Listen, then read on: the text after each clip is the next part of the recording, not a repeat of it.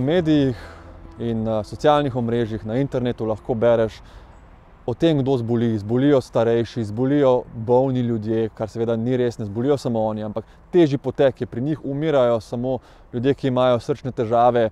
Ampak, ko pa ti delaš na COVID urgenci, vstopni točki, je to nek človek, ki ga pripeljejo, ki je v hudi stiski, hudih bolečinah, ki se duši, ki mu želiš ponuditi celotno oskrbo, posteljo, vsa zdravila, ki jih potrebuje, in imaš zasedene kapacitete, se širijo, si na telefonu, medtem ko on čaka v rešilnem vozilu na dovozu, v daljavi že vidiš drugi rešilni avto, ki prihaja.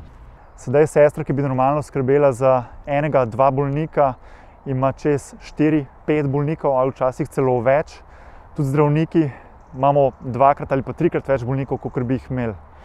Mi smo vsi v veliki stiski zaradi tega.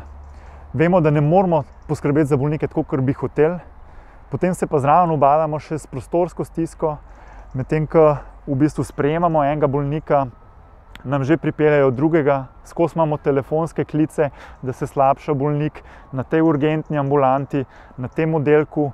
Vse to moramo skoordinirati, medtem ko tudi skrbimo za bolne ljudi. In ob tem v bistvu smo v taki stiski, da nekateri tudi ne morejo več. Počasi potrebujemo odmore, psihološko podporo, nekateri celo. Tako da verjamem, nekaterim je lahko reči, ta bolezen ni tako strašna, zbolevajo predvsem starejši ljudje. Ampak, ko pa pride starejši človek, ki je bolan, ki ga tiščijo v prsih, ga boli, ne more dihati, ti pa mu ne moreš zagotoviti ustrezne oskrbe. Ti ljudje, ki to govorijo doma, tega ne občutijo, mi pa občutimo. Zdravstveni kader tu zelo trpi. To so obremenitve, ki jih vsak dan neseš domov, tukaj gre za preživetje in mi si samo to želimo, da bi lahko pomagali vsem, ki so trenutno bolni, sploh tistim, ki so hudo bolni ali pa bojo to še, še postali.